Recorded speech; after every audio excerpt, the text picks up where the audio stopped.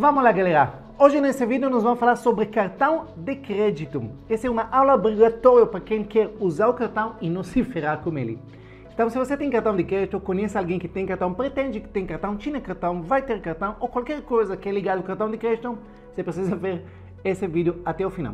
E eu sempre pergunto aos meus mentorados a respeito do cartão, o que, que eles acham? Eles acham que isso é um vilão, mocinhas?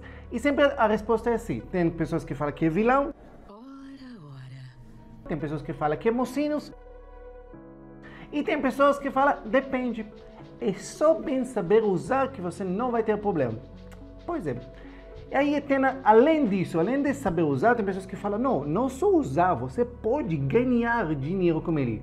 Além de ganhar milhas, tem gurus que ensinaram que você pode utilizar o cartão em vez de ser. Eles falam que você é burro se você paga boleto, se você paga Pix, você passa tudo no, no cartão, você pode multiplicar, ganhar dinheiro Será que tudo isso é verdade? Será que o cartão de crédito é vilão ou mocinhos? E será que tem um jeito certo de usar ele para não ter problemas na vida? E esse é tudo isso e muito mais nós vamos falar nessa aula. Então vamos lá. Primeira coisa que vocês têm que entender é que no Brasil o cartão de crédito é responsável por 88% das dívidas. Quer dizer que a maior parte cada 10 pessoas, 9 deles estão endividados por causa do cartão. Ele começa muitas vezes com cartão, depois pega empréstimo, depois outro empréstimo, depois pega com família e assim faz, até termina pegando dinheiro com agiotos por causa de dívidas com cartão de crédito. E se vocês olham quantos juros são cobrados pelos operadores de cartão, isso é uma das coisas que mais me deixa chateada, porque isso é legalmente, isso não é escondido, isso não são taxas escondidas. Só entrar no Banco Central, veja aqui nessa, nessa foto, só olhar no Banco Central, vê que cartão de crédito, eles avisam, eles informam. Nós cobramos mais de mil por cento ao ano. Mil por cento, quer dizer, uma dívida de cartão de 10 mil vira 100 mil reais no final do ano. Vocês entendem que isso, e tudo por causa dos juros que estão cobrados aqui.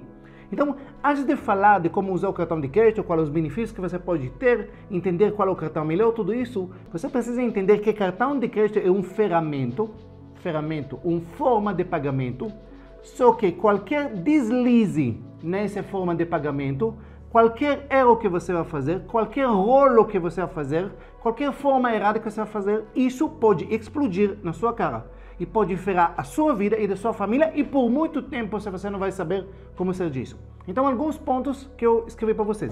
A primeira coisa, cartão de crédito não pode ser utilizado para comprar algo porque você não tem dinheiro para pagar à vista. Isso é a maior burrice. Quando você faz isso, presta atenção bem. Mas não é para o cartão? Não, não é para o cartão. Porque quando você usa cartão para comprar algo porque você não tem dinheiro, você sabe o que você está fazendo? Você está pegando empréstimo. Sim, utilizar cartão de crédito quando você não tem dinheiro é um empréstimo. Se você vai pagar à vista, vai pagar daqui 30 dias, quer dizer que você emprestou, emprestou dinheiro da operadora do cartão do banco para comprar aquele coisa.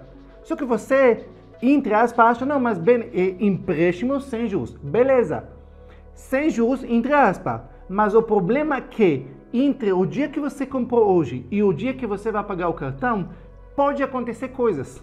Pode ser que você fique desempregado, pode ser que alguém da família fique doente, pode ser que o dinheiro que ia ser utilizado para pagar a fatura você não vai ter daqui 30 dias e aí esse empréstimo sem juros virou um empréstimo mais caro do mundo e vai cobrar para você 15, 18, 20% ao mês por essa utilização. Vocês entendem o risco que vocês estão tomando? Segunda coisa, outro burrice que as pessoas fazem. Eles falam com o cartão de crédito, ah, mas eu posso parcelar sem juros. Isso pior ainda. Porque, bem, presta atenção. Quando você parcela, você, de novo, você se auto-engana porque você acha que você tem poder de comprar algo que você não tem poder. Você normalmente compra no cartão, as pessoas compram porque não cabe no orçamento. O salário, o que eles ganham não é suficiente para comprar aquele televisão, aquele geladeira, aquele coisa que você queria. Então a pessoa faz o que? Ele parcela no cartão. E essas parcelas, pior ainda, por quê? Porque se você pagar assim uma vez, pelo menos você sabe que vai ter uma bomba para pagar daqui a um mês. Você até se prepara. Quando você parcela, você tem pequenas parcelas suaves para pagar. Você fala, ah, é só 200 reais a mais. Eu me viro com esses 200 reais, comecei a parcelar.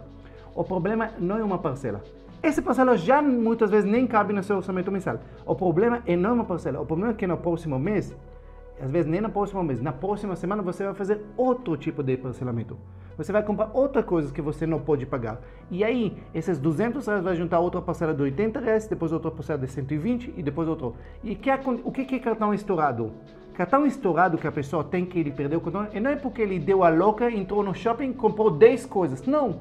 É muitas vezes comprou algo que ele pensava que ele precisava hoje, no mês seguinte comprou outra coisa que ele pensava que precisava, e depois passa 6, 8 meses de repente a fatura do cartão chega tantos itens que ele nem lembra mais que ele comprou e esses itens, essa fatura, muitas vezes é maior do que mais do que ele ganha.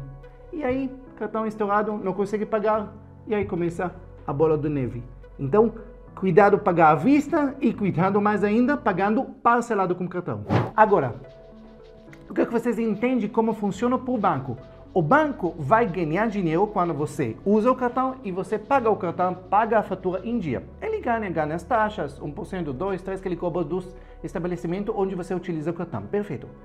Só que o banco vai ganhar muito mais quando você não paga o cartão, quando você vai cifrar que aí vai começar as taxas, os juros e assim vai. Então o que, que o banco vai fazer? Ele vai te dar corda ele vai te aumentar, ele vai aumentar para vocês seus limites no cartão. Por que vocês acham? Porque ele quer que você usa mais, gasta mais, e aí ele vai ficar torcendo que vai chegar ao ponto onde você vai perder o controle. E você vai perder o controle, vai começar a pagar mínimos, taxas, juros, tudo isso. E ali que está o grande dinheiro que os bancos ganham. Ali que está o fortunas deles. Simplesmente assim. Entendam isso. Vamos entender uma coisa simples. O cartão de crédito é meio de pagamento? Sim. É legal usar ele? Sim. Facilita a vida? Sim. Dá benefícios? Sim. Tem muitas coisas sim para ele. O problema é que na mão de uma pessoa que não tem educação financeira é uma arma, é andar com uma arma carregada que pode explodir a qualquer momento. Simplesmente isso. E não adianta falar ah, aprender a usar. É como colocar uma pessoa que acabou de sair da clínica de habilitação porque ele está bebendo demais, que ele está viciado em bebida, e botar ele trabalhar, arrumar um emprego em um barzinho. Falar, não, ele aprendeu lá que ele não pode beber, que faz mal para ele. Pois é, um dia ele aguenta, dois dias ele aguenta, três dias, um dia ele vai começar a beber de novo. É óbvio isso. Usar cartão de crédito se você não tem educação, infelizmente, a maior parte dos brasileiros não tem educação financeira, é só questão de tempo que vai começar ter problemas. E também, o cartão é tão ruim, não tem forma de... Impossível, bem. Tantas pessoas usam cartão. Tá, então vamos começar. Primeira coisa, se você quer usar o cartão de crédito, tenha educação financeira. Ponto. Se você não tem educação financeira, você não tem direito de usar cartão. Por quê? Porque você vai se ferrar. É só questão de tempo. Não adianta falar, não, mas bem, meu, vai fazer com ele. É só tempo. Você pode controlar, pagar fatura, controlar, pagar fatura. Um dia atrasa seu salário, um dia você gastou demais, um dia você parcelou demais e aí vai começar a virar uma bola de neve. Então, primeira coisa, se você é uma pessoa descontrolada, não tem cartão. Isso é a melhor dica que eu posso dar na sua vida. Melhor dica. Eu conheço pessoas que quando o nome deles estava protegidos e eles não conseguiam ter cartão, não tinha cartão, a vida deles, incrível que pareça, foi espetacular financeiramente. Espetacular. E no dia que eles limpavam o nome e conseguiam cartão de volta, a vida deles virou inferno de novo. Confia em mim, eu falo 15 anos que eu dou, em que eu ensino educação financeira, eu sei exatamente o que eu estou falando para vocês. Às vezes, o momento que você não vai ter o cartão vai ser o melhor momento da sua vida. Quando você não vai ter cartão, não vai ter crédito, não vai ter nada. Então, se você não tem controle, se você não tem educação, não tenha cartão. Ah, bem, eu tenho educação, eu sei usar. Perfeito. Então, regra número um, tenha um cartão de crédito. Jamais tenha mais de um. Não tem possibilidade, mesmo a pessoa que tem controle, mesmo que a pessoa não tem como controlar mais de um. Não tem como lembrar em qual você usou, qual a fatura desse. Esquece. Um cartão. Eu tenho 15 anos, 18 anos, um cartão de crédito, ou mesmo nunca, nunca mais de um cartão. Nunca aceite, não importa, ah, mas esse não me interessa. Um único cartão. Segunda coisa importante, sempre coloca o cartão em débito automático.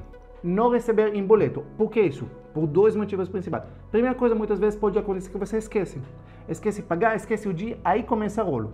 Segunda coisa, o dívida do cartão é a pior dívida que existe. Os juros mais altos, mais difícil pagar tudo isso. Débito automático, mesmo que é péssimo, mesmo que é péssimo, eu preferia que seu cartão seja pago, mesmo que você não tenha dinheiro, seja pega, pago pelo seu cheque especial, do que você ficar com fatura inaberta. Se você paga no cheque especial, é fácil correr dois, três dias, uma semana, e você quita o cheque especial. Muito mais difícil fazer isso com cartão, por questão dos juros mais altos e questão técnica. Próxima coisa, toma muito cuidado com o cartão. De novo, ele é meio de pagamento, muito facilitado para usar, então obviamente muito facilitado também ter problemas. Então, algumas coisas do cartão. O código de segurança que fica atrás do cartão, aqueles três dígitos de quando você faz compras online, apaga ele. Apaga, lembra esse número e apaga. Simplesmente, caso você perde o cartão ou alguém clona, veja você passando em algum estabelecimento, se ele copiar todos os números e o número atrás, ele pode fazer compras com seu cartão. Se não tem esses três, dificulta mais. Outra coisa, não anda com cartão. Por que, que não anda com cartão? Porque muitas das nossas compras são compras por impulso. O que, que é compra por impulso? Compra que você não planejou. Simplesmente isso. Compra planejado, beleza, você pensou, pesquisou, precisa daquele produto. Impulso é você viu promoção, viu que está em 10 vezes sem juros, viu uma coisa legal e você comprou. Isso chama por impulso. Se você não tem cartão, talvez isso vai te dar mais tempo para pensar antes que você vai fazer o M. Outro ponto importante da questão de segurança. Sempre que puder, não sempre, quando você compra pela internet, tenta pagar sempre com cartão virtual, certo? Não todos os estabelecimentos aceitam isso. Às vezes, por quando é parcelamento, tudo isso não aceita. Mas sempre usa cartão virtual. Por quê? Porque o cartão virtual normalmente pode utilizar ele única vez, certo? Depende do tipo de cartão que você escolheu. Então, se de repente eles querem cobrar ou roubar os seus dados do cartão, ele só vai poder utilizado para aquele compra. Então, sempre quando você quer pagar alguma coisa, não pega o cartão físico, entra no aplicativo de celular, gera, gera cartão virtual e paga com ele. Outra coisa extremamente importante, o negócio de ganhar milhas, benefícios. Algumas observações que vocês têm que saber nisso. Dá para ganhar milhas com isso, passagens aéreas, benefícios, cashback, dá-se. Bem, você é contra isso? Não. Se você já está usando o cartão em uma maneira segura, em uma maneira inteligente, faz as compras, não tem problema nenhum. Agora, primeira coisa, jamais aumenta a compra no cartão para ganhar milhas. Jamais faça isso o risco, o mercado, o risco de você criar uma dívida. Lembra, um empréstimo que daqui 30 dias ou parcelado, de repente você não vai pagar, não vale a pena. O retorno que você tem, o retorno, só para vocês saber, o retorno máximo que você tem de todos os benefícios é de 1% a 5%. Normalmente 1%, 2%. Não vale, muitas vezes, não vale você ter esse risco para ganhar 1%, quer dizer que a cada mil reais que você vai gastar, você vai ganhar 10 reais, não vale esses 10 reais, 20 reais, não vale o risco de você se enrolar novamente na sua vida cartão. Então, se você já está controlado, já está pagando, tudo certinho, beleza, vem milhas, vem cashback, está bem-vindo. Você fazendo mais compras, você aumentando fatura para ganhar mais, é péssimo. E tem muitos gurus que ensinam muitos cursos como você ganha dinheiro com milhas, tudo isso. Os cursos não estão mentindo, dá para fazer esses cursos.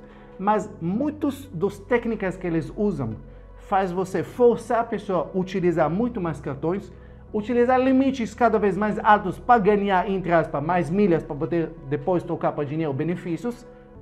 Tudo bem. O problema é que essas técnicas funcionam para alguns pouquíssimas pessoas extremamente controlados e para a maior parte das pessoas essas técnicas, em vez de colocar elas como pessoas que ganham dinheiro, colocar as pessoas que enriqueceram na lista do Forbes, muito provável que essas pessoas vão estar na lista de Serasa amanhã. Então, toma muito cuidado com essas coisas de benefício, tudo isso. Quando vem, perfeito, bem-vindo. Veja lá, pesquisa, você entra na internet, tem N benefícios, depende do tipo de cartão, tem cartões que pagam mais, pontos menos. Escolha um cartão, único cartão, que realmente te dá benefício, obviamente sem anuidade, te dá cashback, tanto faz. Escolhe um, utilize ele direito. Mas jamais, jamais permite a ganância, permite essas armadilhas e vocês acham que eles dão todas essas coisas. Para quê? Todas essas armadilhas do cashback, tudo. Por que, que eles fazem isso? Justamente para motivar você, ter mais cartões, utilizar mais, gastar mais e fica rezando que um dia você vai fazer um pequeno deslize e esse pequeno deslize vai virar uma bola de neve que muitos de vocês às vezes nem vai saber como ser disso. Então, cartão de crédito, se a gente vai falar se ele virar mocinho, a palavra que eu sempre falo para mim é um vilão, justamente pelos juros cobrados, e a palavra depende, de novo, é muito difícil ensinar um alcoólatra como beber conscientemente. Se você é alcoólatra, se você tem problema com bebida, a única coisa que eu posso te falar, fica longe das bebidas. Se você tem problemas com educação financeira, problemas com dívidas, a única coisa que eu posso te falar, fica longe do cartão, sua vida vai ser muito mais fácil. Espero que esse vídeo vai te ajudar. Compartilha com outras pessoas que com certeza precisam dessa aula a respeito de como usar cartão de crédito. Se gostou, curte, compartilha e obviamente segue meu canal. Beijo no coração e até o próximo vídeo.